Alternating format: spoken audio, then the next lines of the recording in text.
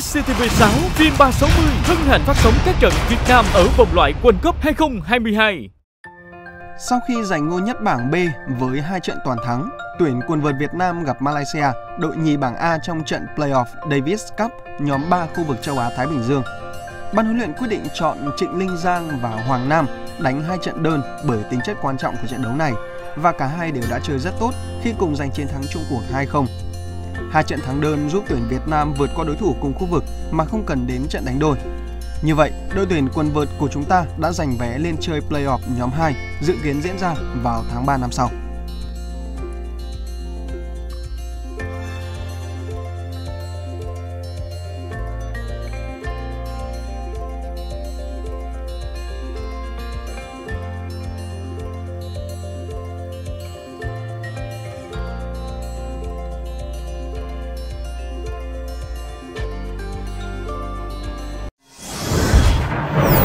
Kênh truyền hình SCTV6 phim 360 hoàn toàn mới.